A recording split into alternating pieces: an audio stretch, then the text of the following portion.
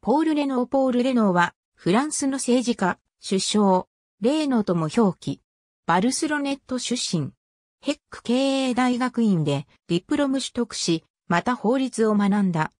第一次世界大戦に従軍後、地元選出の代議士、1919年にパリ選出の代議士として国政に参加し、議会では中道右派と手を組んだ。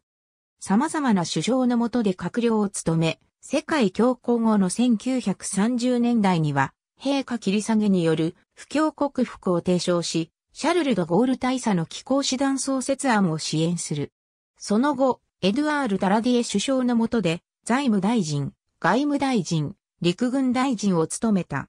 第二次世界大戦中の1940年3月、辞職したダラディエに代わり、首相を務める。同年5月のナチスドイツのフランス侵攻に際しては、敗勢が濃くなってからも交戦継続を唱えたが、休戦派に屈し6月に辞職する。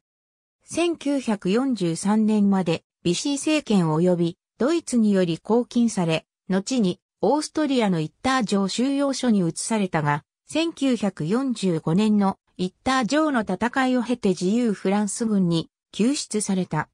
第二次世界大戦後の1946年に憲法議会議員に選出され、後に再び代議士となる。1966年に死去した。ありがとうございます。